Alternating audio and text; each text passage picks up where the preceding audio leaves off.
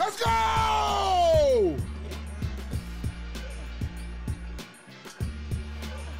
Get that way! Yes! Woo! One out of the way, baby!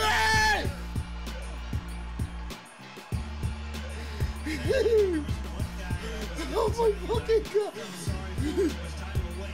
Let's fucking go, Wayne! oh my fucking god! One more out!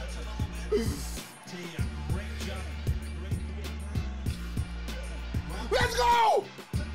Get the fucking go! Yes! Corey Kluber! Yes, on this bobblehead day, motherfuckers! Let's go! Woo! Two Zip New York! That's what I'm talking about!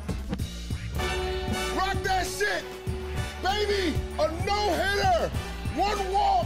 Yankees win! Zip Corey Kluber! You the man, you already getting pitch straight strong performer of the series. I already know that.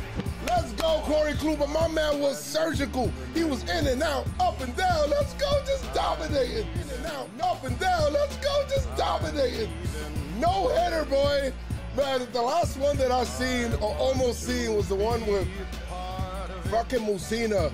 That's the last one that I almost, like, almost seen. The other ones I seen, obviously, in the 90s, but, you know, when Mussina or whatever, where he got the, you know, and Carl Everett's motherfucking ass, bro, got a, a hit.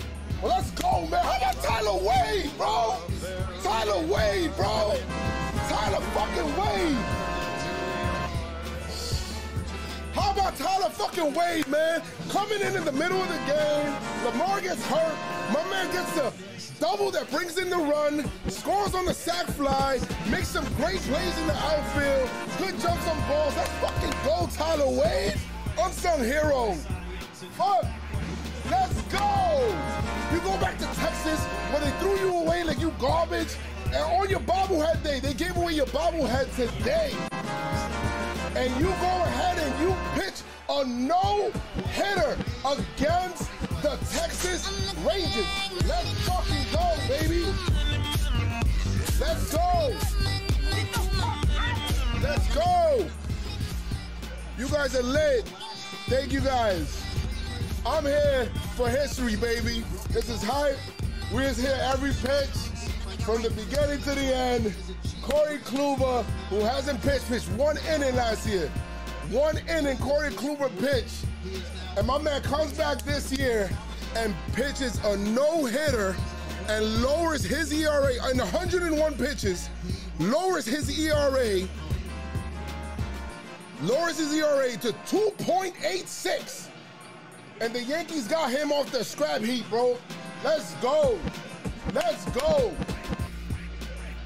Good shit, man.